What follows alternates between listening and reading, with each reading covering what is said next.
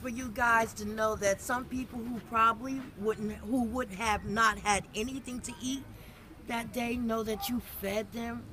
I mean, fed them well with very good food.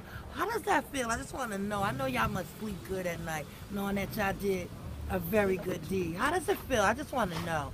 Well, honestly, one of the reasons why I enjoy doing this is because for years I was homeless and I didn't have anybody do anything for me.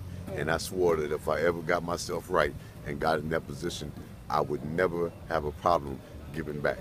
That's what's up. And that's what I do. I want y'all to not stop doing what y'all doing, regardless of whatever obstacles y'all may occur.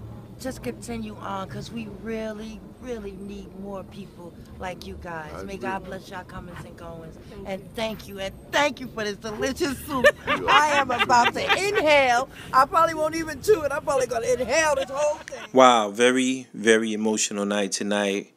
Uh, definitely want to thank the sister for her comments and also uh, Kevin for your testimony. Uh, Sharonda, we really appreciate you coming out tonight. Uh, your organization supplying the blankets tonight for those that are in need. Uh, like I said, very, very emotional night tonight. Tonight was like no other night that I have experienced out in the city of Patterson. Uh, also, would like to give a shout out to Valerie Freeman for providing the soup for this evening. So, thank you, Val. Uh, as you can see, they really, really appreciate the soup. Uh, just asking everybody to send the sound of my voice. Uh, this is just a little clip of what the Patterson Care team does on a nightly basis.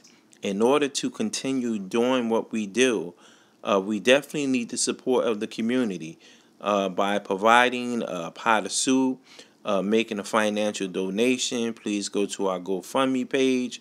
Uh, reach out to any of the crew from the Patterson Care team. Uh, we will really, really appreciate it.